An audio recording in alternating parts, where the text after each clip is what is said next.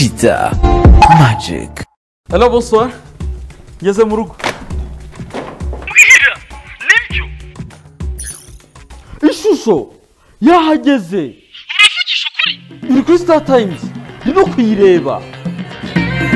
iyi tv ni kuri star times kuri shene y'ijana n'icyenda Hey guys, reka ngusuhuze nkwifuriza ibihe byiza nkwifuriza kumererwa neza. Wowe udukurikiye uri mu Rwanda udukurikiye uri hanze y'u Rwanda aho uri hatandukanye kuri iyi si ikaze kuri Cheetah Magic. Ntangire nkubwira ngo Happy International Women's Day.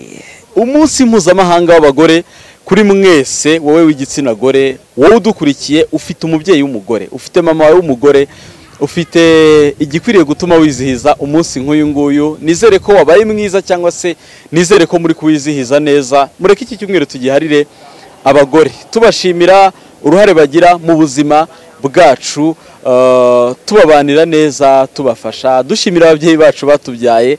Nizere ko ari umunsi mwiza kuri mwebwe. Happy international women's day. Nk'uko muri kubibona paroisse sainte famille muri kuyibona muri kubona imodoka ziri kuzamuka haruguru zijya kuri point ya hano mu mujyi wa kigali. Aho bita mu mujyi ubundi.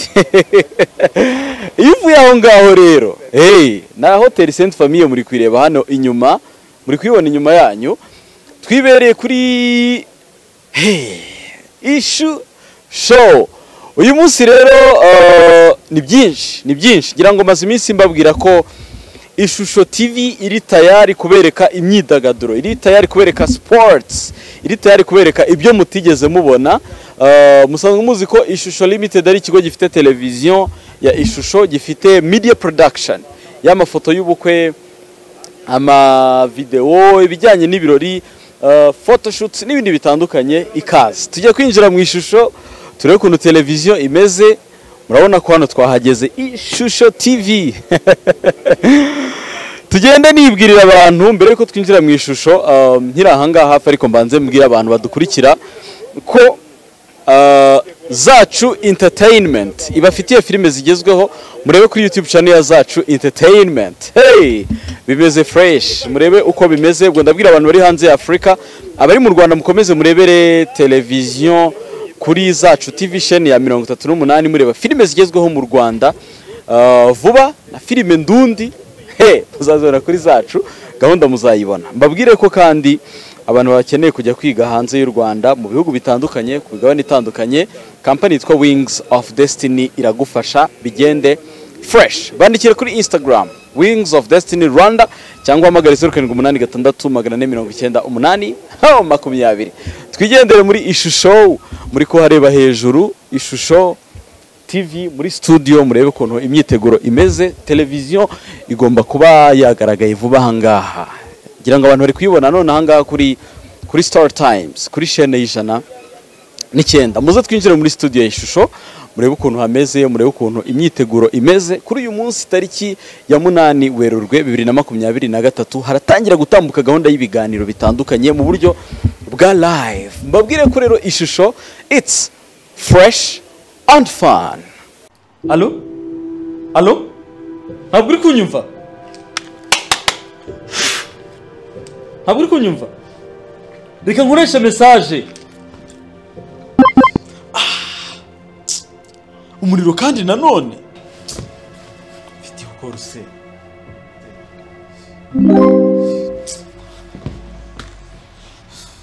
Reka nkoreshe computer.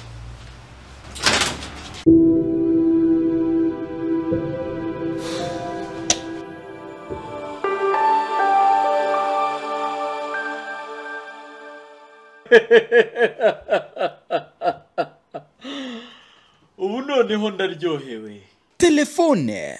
Yo muri New Species yahindura ubuzima bwawe. Cheetah. Magic. fresh and fun.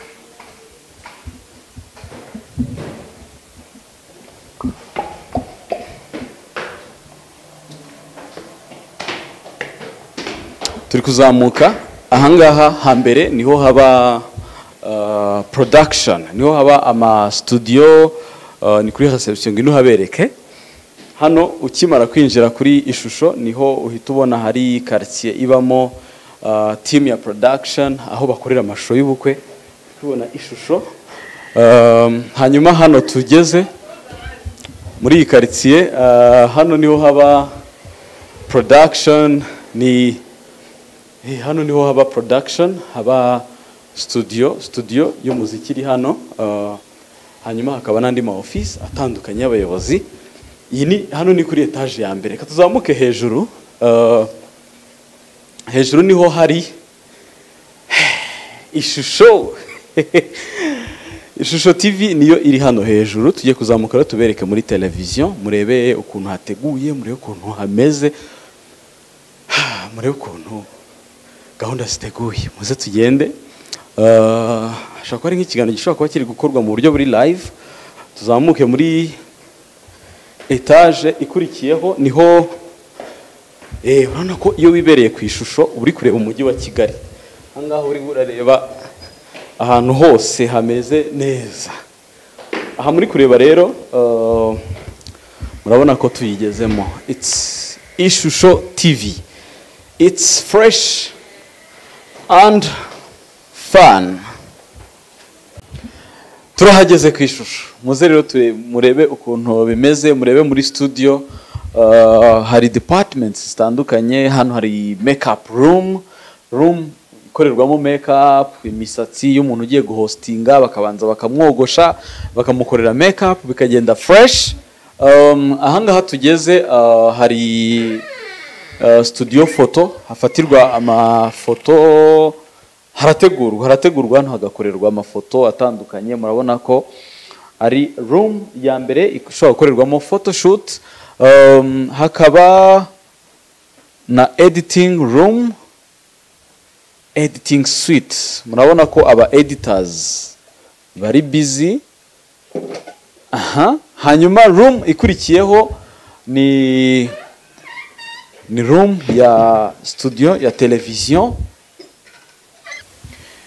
hano ni muri studio tugiye kwereka ahakorerwa ibiganiro mu kanya turahita tuhabereka ariko reka duhere noneho aho bitunganyirizwa. Ahangaha ni control room tambuka ubereke ah, ni ho team iba iri gutambutsa live uko bigenda ni ahangaha Ah, ngira ngo nk'ahangaha muri kureba ko Faustino ari gutegura ikiganiro cye ni ho haba hari ku- kureberwa amajwi kureberwa buri kimwe cyose kijyanye no kugira ngo televiziyo ijye live. Hari amakode akoreshwa hari amakode akoreshwa. Nkanga muze gatoya murahita mubibona. Hari amakode akoreshwa ariko kubera ko harimo ama user id n'ama password byihorere tugarura ahangaha urabona za screen zose hano hari kamera zishobora gutambutsa live kamera zirenga eshanu. Nk'ahangaha muri kubona ko kamera ya gatatu ariyo iri muri focus. Hariya Faustino araza kuba yicaye. Uyu mukobwa w'umujene cyane murabona ko ari busy. Harya ukora muri iyo IT department, na production. Harya witwa? Adeline, Adeline. Yeah. reba abantu ba- basuhuza. ari kumwe n'umusore mugenzi we. Bose umeze fresh? Eh, tumeze neza cyane. Wowe witwa? Iyo banyita kigenzi. Wit- bakwita kigenzi. Yego. uko witwa turabigeraho nyine. None se ni ukuvuga ngo televiziyo aho ngaho ni ho televiziyo iba iri? Hmm. ino ino ni screen ya black magic? Ibikwereka preview y'ibirimo hano muri ino screen gutya. Ubu ino screen iramutse izimye n'ubundi ni ukuvuga ko tutava on air dushobora gukomeza tubikontororera aha ngaha yego. Aka ni cyo kamaze. Ntabwo bisanzwe. Aha ngaha ni muri ishusho hari ibikoresho bigezweho uh, hari n'ibindi bigomba kuhagera kugira ngo mukomeze murebe televiziyo imeze fresh kandi mwibuke ko ari fresh and fun. Faustino nawe uh, reka tumugereho atubwire byinshi. Simbigarukaho muri kumubona. Ari gutegura ikiganiro cya iSports eh eh eh. Mugenzi. Yacita eh eh eh. Ni neza cyane. Karibu mu ishusho. Asante sana. Ujya uvuga ngo na yo yahageze. Ngiyi yahageze. Nawe wahageze. Turahabaye. Hano ko timu tuba turimo turategura gake gake. Ewana uh, ibi ngibi ni ibijyanye n'ikiganiro uri bukore uyu mugoroba cya sports. Eh niko cyitwa ubwo ni ishusho sports. Uri gutegurira abantu ama predictions ya ya Bayern Munich na na PSG ya niyo match ihari ikomeye kuri uyu mugoroba. Ni Paris Saint-Germain iri hagati y'urupfu n'umupfumu. Kankoresha iryo jambo. Iragowe nyine uyu munsi ishobora gutaha cyangwa igakomeza. So ni byo turimo turategura rero uh, kubishyira muri iyi screen. Nibwo bwa mbere ubibonye mu Rwanda niba ntibeshye screen bakoramo. Bamwe bati dukora ikiganiro nakubwiye ngo ugiye kubona Super Sport ugiye kubona Canal Plus ugiye kubona Fox Sports za BIN hano mu Rwanda. So ni ibi ngibi rero. reka ngushyiriremo wikwihuta. Eh, nawe urakoraho birebe ibyo twateguye. Eh, nawe ushaka gupanga ikipe yawe. Eh, so ni byinshi birumvikana.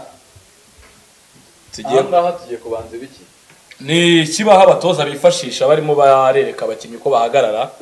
Tuba turi kumwe n'abatoza muri show yacu ya mbere ngo birumvikana abatoza nibo bifashisha iyi tactical board nyine birumvikana ikoreshwa muri coaching. Iyi ni indi Bashushanya- nabo iyi ngiyi niyo umaze iminsi wereka abantu niyo dukoresha. Ariko hari n'izindi nyinshi ni uko usanze ari iyi twibanzeho hari izindi. Ubwo bi- bi- bikora gute rero? Eh, uko bikora aba ni abakinnyi baba bari ahangaha panga ikipe ukavuga uti wenda ni iyi side turashyiraho Bayern kuko ari iri mu rugo iyi side dushyiraho Paris Saint-Germain. Biremera ukura umukinnyi ahangaha eh, ukamuzana ukamushyiramo aha. Wenda dufate urugero niba uyu ni umuzamu wa Paris Saint-Germain turamuha izina. Mwite ni Donnarumma yambaye nimero imwe. Uryandike gutya ni urucabana. Cyangwa tumwite Chita. Reka tumwite Chita Eh?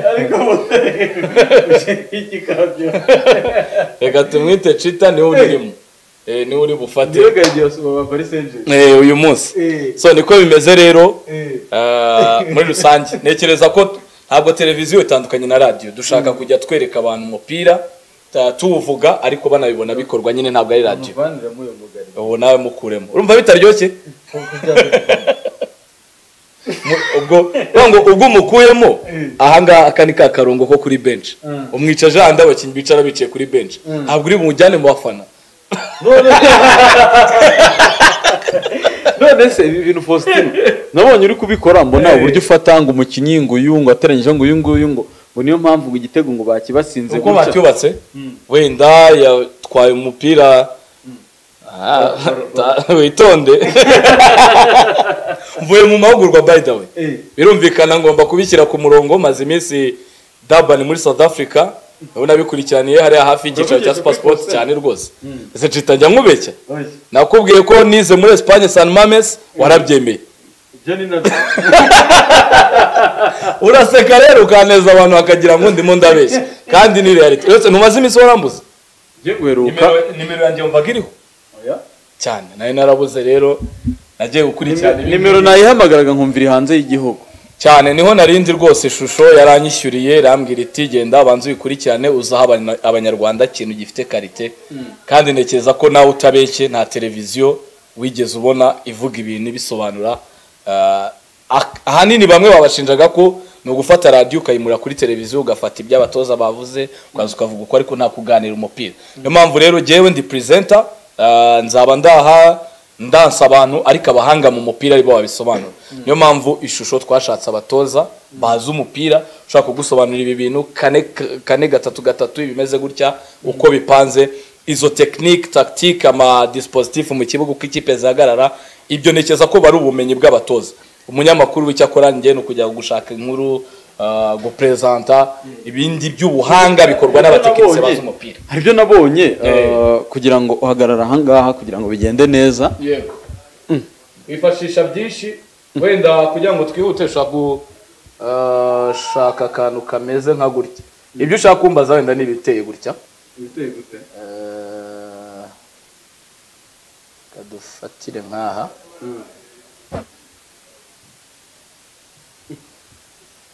ni byinshi cyane cita Eh, ndabona bitari kuza neza. Reka tube dusubiye hariya. Twaba tuganira nta kibazo. Birumvikana nyine baravuga umunyarwanda bivuze neza ngo imihini mishya itera amababa. Eh, katureke kubiforosa n'ibyuma by'abazungu. Ariko byari bije ntacyo bitwaye ni imirongo nk'iyi wavugaga. Eh, uko abakinnyi bagenda uko ko batwara umupira ni byinshi ni byinshi birimo Eh, ntekereza ko abantu bashonje bayishyuwe byose tutabibereka. None se reka ndebe. Bende nabonye igira gutya. Bigenda gute? Ubwo ushobora kuvuga ngo kirakuzi.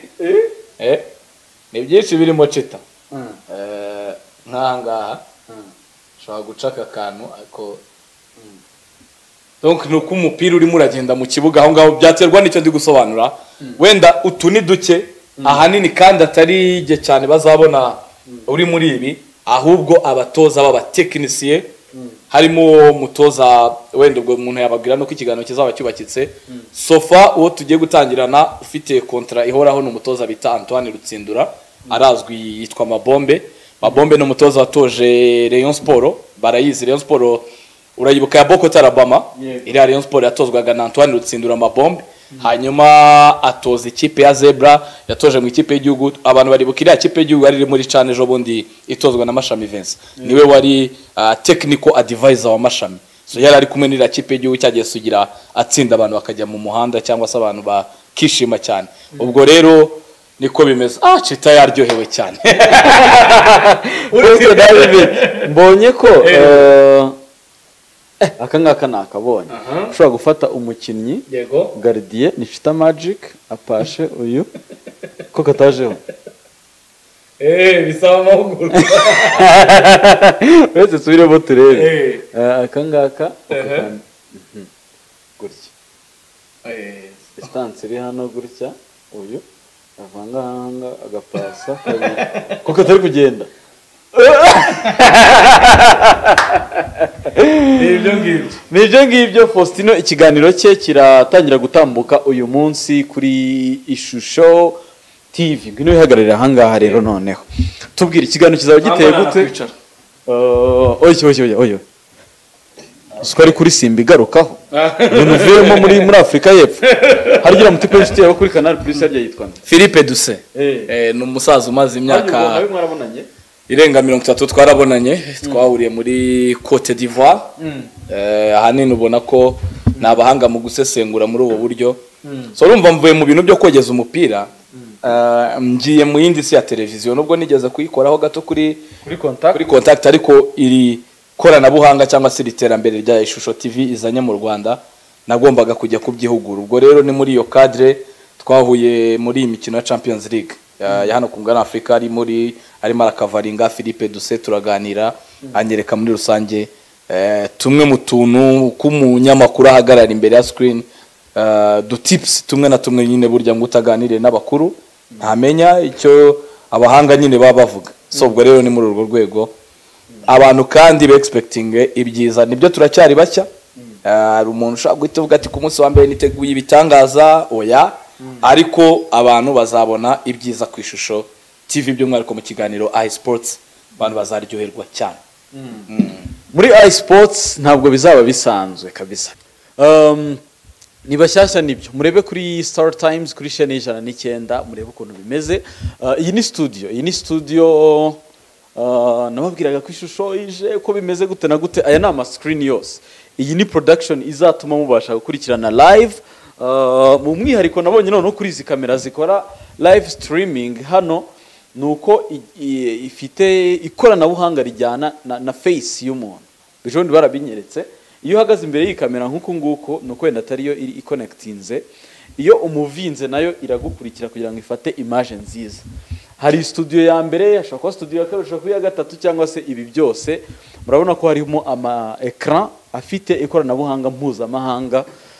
Bizagenda neza. Faustin. Yego. Ufite amatsiko y'umuhost muzakorana wambwiye ko ashobora kuba ari umukobwa. Umukobwa ariko ah, hari ibyo bikiri gushyirwa ku murongo n'ubuyobozi abantu ntekereza ko bari butangire kumubona mu cyumweru gitaha. Uwimana clarisse. clarisse uwimana. Oya. Igoga Eh, oya. Ishusho ni ibishya Eh. nawe babwira uti nawe araje undi mukobwa mwiza. Araje vuba. Ni ishusho tv um, ku itariki ya cumi muri weekend ije hazaba official launch ya televiziyo eh, muzayibona ubwayo uburyo byonyine faustino azagera ahangaha ku ishusho. Uburyo buri kimwe kizagenda. Bateye amatsiko. Ntabwo bizaba bisanzwe. It's ishusho tv fresh and fun. Faustino gira icyo ubwira abantu bari kukureba ya abantu nibagure bwo dekoderi za star times bajye bayireba kandi uyibwire n'abandi nabo barebe ishusho tv kandi chita magic. Nayo turayishima cyane ko eh, isapotinga ishusho tv ndetse eh, ni ti- eh, ubu bosi wanjye ari ku rwego rumwe na chita chita ntabwo ari umunyamakuru nkanjye. We ari mu- ari muri kategori ya bosi wanjye. Niba ni aba CEO bose. So muryoherwe rero na gahunda za ishusho tv ni za chita magic. Mukomeze mugire ibihe byiza. Reka dukomeze tujye kuganira n'umwe mu bayobozi ba ishusho mu kanya aratubwira uko biteguye atubwire ibijyanye na production ya hano uh, atubwire gahunda uko ziteguye. Stay tuned. Cheetah Magic. Eh, mumaze kubona ikiganiro na Faustino abasobanurira ibyo azajya akora uburyo ikiganiro giteye. Mwabonye ama screen n'ahangaha muri kubona indi harimo screen imwe ebyiri eshatu enye eshanu esheshatu turi muri studio ya ishusho uwo turi kumwe mushobora kuba wenda benshi mumenyereye ijwi rye ariko mutamubona kuri screen ariko n'ubundi cyo kugenda ikiganiro atubwira mu buryo bwa technique n'umugabo witwa Jerome Mugabo umwe mu bantu bari creative hano mu Rwanda. Ni manager hano ku ishusho ariko n'ibi technique abifite mu nshingano. Kaze kuri Chita Magic. Urakoze cyane magic. Meze neza. Eh meze neza ndanakomeye namwe mumeze neza. Cyane. Bwa mbere muri interview uriyumva gute? Bwa mbere kuri interview ni fresh and fun. Fresh and fun.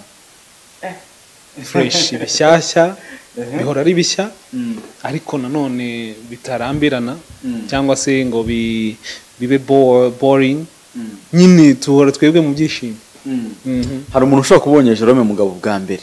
Mu mateka ari nk'ubwa mbere amubonye. Wamubwira ko ari mu ntoki? Eh, ni umuntu uri usanzwe eh, ariko uri fani nyine tu. Kind of iyo ashatse kuba serious aba serious. Eh, ariko agakunda ku- gutebya. Kuko bituma iminsi yo kubaho yiyongera. Eh, aho ni muri character. Hanyuma ari mu buryo buri technical cyangwa bw'akazi. Mu buryo bw'akazi eh, nkemura kuri byose. Ni nka tusha tu kamera nkoraho editing nkoraho. Buriya no kuri mikoro nige- nigeze. Story ndandika. Mu by'ukuri eh, ndasa naho mbumbatiye utuntu twinshi impamvu ariko ni uko ndambirwa vuba simba nshaka kurindira umwanya muremure ngo ndebe mu graphic designer ashaka gukora akantu k'akalogo akamara iminsi ibiri cyatumye niga adobe photoshop so umu- nanone ibyo ngibyo byanafashije kumenya utuntu twinshi byamfashije ku- ku- kumenya abategage mu byo nababwira eh, ibyo nababwira kuri Jerome ni umu voice artist ni umuhanzi w'ijwi. Kenshi abantu mu Rwanda bazi ko ngo umuhanzi ari umuntu usohora indirimbo akaririmba ni umuhanzi w'umuhanga mu ijwi mu buryo bwo kubara inkuru ku- mu buryo bwa documentaire cyangwa se eh, kubara inkuru publicité n'ibindi bitandukanye. Turi mu ishusho TV televiziyo uyu munsi ku itariki ya munani ukwezi kwa gatatu bibiri na makumyabiri na gatatu iratangira gutambutsa ibiganiro biri live. Uh, muri no gutegura launch ubundi wabwira abantu ko ishusho tv ifite iki? Niyihe package izaniye abanyarwanda twashatse kuzana umwihariko. Ariko umwihariko ukaza kujya mu nguni igizwe n'umuco n'imikino. Ubwo ni culture and sports.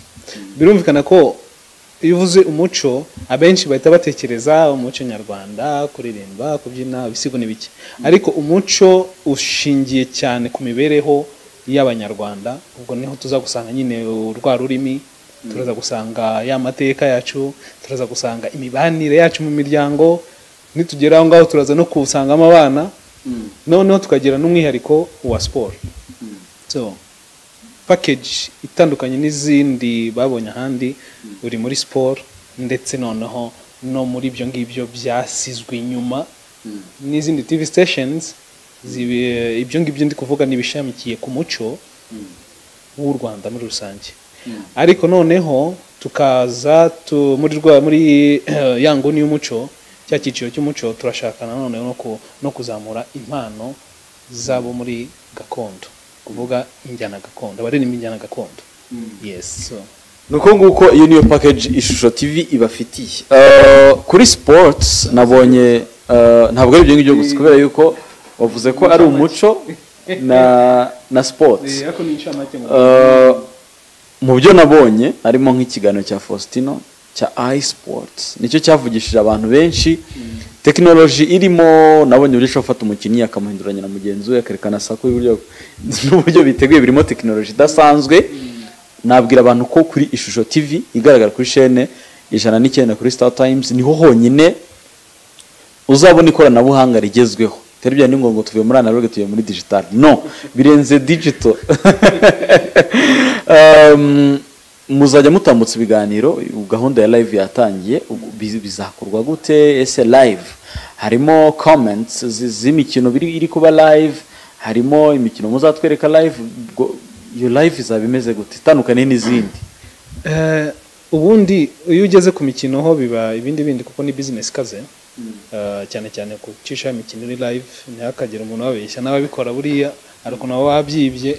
Ariko ndavuga ku, kuri televiziyo cyane cyane ziri loko usibye nka uh, mesomer igira gutya ikagura right kubera ko ifite ubushobozi. Ariko izindi um, private media pri, pri, private tv stations uh, biratugora. Ntabwo tuje tu- tuvuga ngo turakora live games. Sibyo ko muri plan y'igihe kirekire. Uh, ariko tuje gukora ibiganiro bi- byose biraba biri live eh, n'ibi- aho aho ngaho niho turi bukoreshe ijambo live. Ni ibiganiro biri live izo um, statistics tubereka byose bizaba biri in, in, in live mode. uh, analysis dukoresheje ikoranabuhanga um, na byo birakorwa mu buryo bwa real time kind of niba niba ata- atari bya bindi uvuga uti ndajya kuri ku graphic designer abanza ashushanye nze kubikina. Uh -uh. niba wa- wahisemo uyu nguyu nka kuriya fosinya avuga ngo ruvumbu wenda ukayi- uga- ugahitamo undi. ah ugamutaho no no no hapana uyu nguyu. Ukabihindura ukabona ko byahindutse nyine. It's, it's life uh, it's live um, uh, analysis uh, technology tuzanye yatuma tugora difference cyangwa se itandukaniro hagati y'ishusho tv n'izindi tv stations zikora football cyangwa se sport muri rusange. Mu byo mfitiye amatsiko harimo recruitments. Ni bande baje mu bo tumenyereye mu itangazamakuru bazagaragara kuri iyi shusho tv bon uh, ntabwo nashatse gukora agashya nk'abambanjirije bakoze. Ariko mu myaka ya kera wajyaga gu- gutangiza igitangazamakuru ugaterura ikindi gitangazamakuru cyose tukakizana. Nubwo nari mfite ubwo bushobozi ndetse nashobora kubikora ariko byabaye ngombwa ko ntangira kubaka ahubwo abashyashya. Abashya batamenyerewe ariko bafite ibyo bikoreye. Ndavuga ibyo bagomba guha abantu batureba. So usibye Faustinho usanzwe uzwi mu, mikino kuko uh, dufite sport nka nk'imwe muri uh, pila ya editorial line yacu. Uh, muri sport kandi nashatse gukora itandukaniro ry'uko abanyamakuru si bo bonyine bakenewe muri icyo kiganiro. Hakenewe ahubwo abazi ibyo bintu. Babifite ubumenyi n'impamyabushobozi cyangwa se impamyabumenyi. Niyo mpamvu twashatse kwi- kwifashisha abatoza ababaye abakinnyi. Ariko kugeza aka kanya reka nze mwerurire ko ubu- umwe mu basesenguzi dufite harimo uh, umutoza w'abandi batoza witwa Antoine Rutsindura bakunze kwita amabombe Eh, hanyuma hari n'abandi mbabikiye bazatujoyininga mu mu bihe biri imbere. So aho ngaho ni muri sport. Hanyuma uh, bya bindi bya fresh and fun mu bijyanye na entertainment uh, culture uh, nifuje ko nimugoroba amasaha yacu ya nimugoroba abantu biriwe mu mibare myinshi itari guhura. Nibataha batahe nibura baruhuke baseke. Ari bya bindi bya fresh and fun. So muri mu kiganiro cya nimugoroba nyuma ya sport tuba dufite roundabout ni ikiganiro kizaba kiyobowe Igihe cya Faustin kizajya gitangira sanga icyo kirimo sport Mm, iSports live izajya itangira saa moya eh, z'ijoro eh, igere saa mbiri n'igice hanyuma mujye kureba match abazikunda Mwaba- mwabanje kumva exactly iyi match eske turayibetinga uh, byose bihari. Twarebye ibyabaye mu gikombe cy'amahoro cyangwa se mu- muri shampiyona eh, ariko noneho hari na match ikurikiyeho irindiriwe n'abantu benshi. Eh, wasobanukiwe impamvu umusifuzi bamushose cyangwa se bamukubise imigeri n'ukuntu byakurikiyeho. Eh, ariko eske imibare mfite imibare nahawe na mabombe cyangwa se na Faustinho bitewe n'ubusesenguzi bakoze ku makipe agiye gukina muri Champions League nshobora kubetinga. Ukajya muri match uri tayari uzi neza ko yewe uzi uti ninshoramo magana abiri yanjye. E- eshatu n'igice ndayataha so ku bijyanye na hanyuma cyitwa roundabout. Roundabout. Uh, witwa John Naifa muyenzi. Bantu bamenyereye nka Babu. Ni umukomediye. Umaze kubaka izina uh, ni we uza driving icyo kiganiro uzakiyobora. Kugira ngo ibintu bibe bibe fun. Ni amasaha akuze eh, abantu bagiye ku- kuryama baryame bafite umutima mwiza usukuye bazabyuke rwose bafite roho nzima. Yego. Ariko ibyo bizagira na rebroadcast kugira ngo umuntu utarebye show nijoro ashobora kuba yakireba ku muntu. Ntabwo nshaka ku ku congestinga uh, line up yacu. Niyo mpamvu harimo n'icyifuzo kuko twakoze survey dusanga abantu benshi buriya batangiye kureba televiziyo mu masaha ya nimugoroba. Kubera impamvu zitandukanye harimo akazi harimo za shuguri so tuzatangira n'ibiganiro bibiri bya live. Uh, mu minsi y'icyumweru. Hanyuma abatabashe kukireba nijoro wenda kubera ambuteyaje batinze gutaha uh, nijoro. N'ubundi ibyo biganiro bizasubiraho ndetse n'amasaha ya mu gitondo. Ibyo bizatuma tugera ku wundi munsi amakuru yose uyazi. Amakuru uburyo ikiganiro gitambuka rimwe kikongera gutambuka muri bikaba birangiye. uwo munsi bigakomeza. Mu buryo rero mu buryo abantu bafitiye amatsiko by'umwihariko n'abantu babona amajingo y'ishusho babona amajenerike babona bi- bi- bitambuka kuri social medias ah, bibaza ishusho ibyo ari byo aho bizatambuka n'uko bizaba bimeze. Ah, ishusho ni, ni, ni tv station iri mainstream muri mainstream media. Izigaragara ku bantu bari hano mu rwanda kuri star times benshi bagiye ba- ba- basaba ko yagaragara no ku yandi madekoderi nka canal plus. Uh, canal plus izagaragaraho ryari? Nabonye ari cyo kibazo benshi babajije cyane. Icyifuzo cy'abantu ni cyo tuzagenderaho. Uh, ariko byabanje kugorana kuko biragoye ko waba uri cano nshyashya ngo uhite ujya kuri canal plus. Ugomba kwerekana ko nyine ukwiriye kujya kuri canal plus. Eh, nyine ni ukuvuga abantu bakurebye baragushimye. Afite izo ni critère za canal plus kugira ngo ubashe kujyaho. Ariko eh, hari n'abavuga kuri to air. Na igihugu cyacu cyari cyafite urugendo rwo kugira ngo tubashe gukora neza ibyo dukwiye gukora kandi mu buryo no mu gihe gikwiye. Twabuze umwanya kuri free air Eh, aho abaturage badafite ubushobozi bwo kugura abonnement iyo ari yo yose bashobora kutureba free of charge. Nabyo murabyishyura? Nabyo turabyishyurira ariko twabuze. Nyine dufite ubushobozi bwo kubikora tubura umwanya ni ukuvuga batuburiye umwanya ababishinzwe. Cyangwa se abakontorora ubwo buryo eh, bwa distribution ya free to air ahantu hamwe rero hari hasigaye ni kuri star times. Times. Mu byo abantu bibaza rero uh, hari abantu ba- ba- ba- ba- bakeneye kumenya entertainment bari hanze y'u rwanda. Bataba mu rwanda bo murateganya iki bizagenda gute? Bon turi mu bihe bya tekinoloji by'iterambere rya tekinoloji dufite website eh, mu minsi mike turaba tuyirekuye ku buryo bashobora kuzajya batureba kuri website mobile application y'ishusho tv hanyuma um,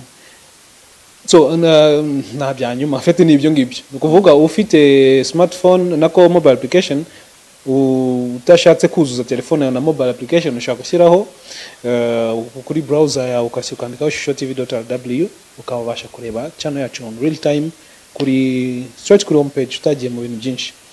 Eh, hanyuma ariko ibindi byo ni ibijyanye na, na content twazashyiraho ariko ubundi platform nizo ngizo. Ubwo bivuze ngo ibiganiro uh, bizajya bitambuka kuri ishusho tv bizajya bitambuka no kuri chaîne ya youtube ku buryo nk'abantu bari mu bihugu bitandukanye. Donc en direct bashobora kubikurikira. Kuri youtube biragoye kubera copyright. Kuko urabona nk'indirimbo du- dukina ni indirimbo z'abahanzi baba barashyize no kuri youtube. Ah, so bituma eh, bituma dushaka iyindi option. Ni ukuvuga nk'ibiganiro biri live. Nk'ikiganiro cya faustin cyangwa icya babu uh, ngira ngo ibiriba birimo n'undi n'iby'ishusho ya ah okay. Uh, Kuvuga ikiganiro, real, uh, re- real time streaming yo ntabwo tuzashyira kuri youtube ariko ibiganiro bya original productions kuko ni n'undi ni ibyacu byo bizaba biri kuri kuri youtube. Ku buryo umuntu utabasha kubireba kuri mu buryo bwa premiere yabyo yayo live nyine atayirebye muri broadcast ashobora kureba kuri streaming muri replay.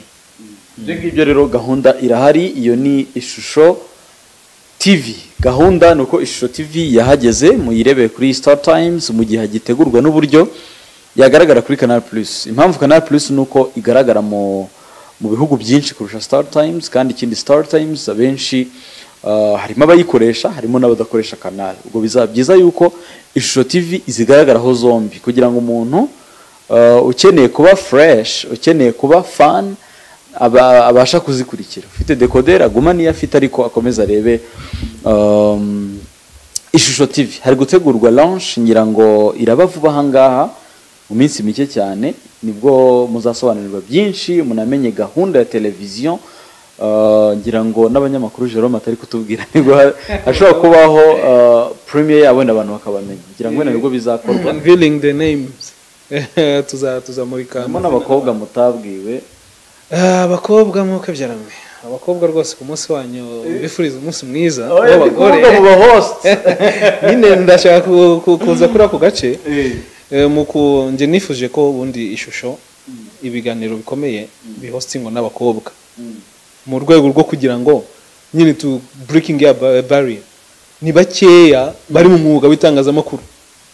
Ni bake ugereranyije n'abagabo. So uko ari bake rero ni nako koko nagiye nshaka uburyo ki na- nareba abatagaragara cyane cyangwa se abatazwi cyane ariko bafite ibyo bashobora guha ah, abadukurikiye.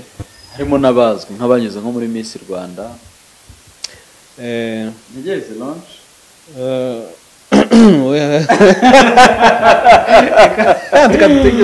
umukobwa witwa witwa witwa witwa harimo abakobwa babiri bakoraga hano kuri reception ba- ba- ba- baje ntabwo baragaruka mu biganiro. N'undi ba- ba- bakoreye hano ku ishusho barimo nyampinga rwanda bibiri na makumyabiri na kabiri inshuti divine muheto na kaze neza. Merci. Nawe bakoraga hano mu ishusho babaga muri management ya ishusho. Ntabwo nzi niba nabwo mugiye kubigenza gutyo muhita muzana abakobwa babiri bagezweho bagezweho bazwi kugira ngo badutwikire. Ntegereze ibya darina muzabivuga muri launch Eh, cyangwa n'undi uwo ari we wese. eh, ndabona harimo ekwasiyo nyinshi. Harimo ekwasiyo nyinshi mbere yo gusubiza iki kibazo. Reka igisubizo kizaboneke nyuma yaho yitwa jerome mugabo ibindi muzabimenya mu gihe cya launch izaba ku itariki icumi kwezi kwa gatatu bibiri na makumyabiri na gatatu. Ni muri weekend n'ubundi ni bwo hazaba launch yo kulanshinga televiziyo launch ya ishusho ubwayo ngira ngo muribuka ko tugeze kuyibagezaho umunsi ishusho itangira. Reka mbashimire mwebwe muri kure ikiganiro babwire stay tuned. Ishusho tv kuri instagram irahari ishusho tv official kuri youtube hari um, hari, hari channel yabo ariko igihe haba habonetse um, link officiel ya televiziyo na yo tuzayibagezaho kugira ngo abantu bari hanze y'u rwanda babashe gukurikira ishusho. It's fresh and fun. Hello bonsoir. Ngeze mu rugo. Ishusho yahageze. Iri kuri star times ndi no kuyireba ishusho tv ni kuri star times kuri sheni y'ijana n'icyenda Cheetah Magic